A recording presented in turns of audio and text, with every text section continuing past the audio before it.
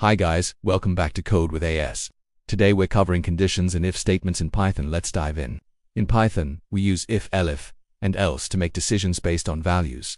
Example, we set age equals 20. If age is greater than or equal to 18, it prints, you're an adult, else if age is greater than 12, it prints, you're a teenager, otherwise it prints you're a child. Since the age is 20, Python prints, you're an adult. Now let's talk about comparison operators. Equals, not equal, greater than, less than, greater or equal, and less or equal. You can also combine conditions, like if age is between 18 and 60. Print working age with age 20, it prints working age. We can also use logic like or and not.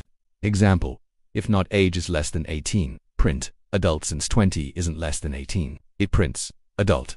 One last tip, Python uses indentation, not curly braces, so always align your blocks properly. That's it. Follow Code with AS for more Python tips and tricks.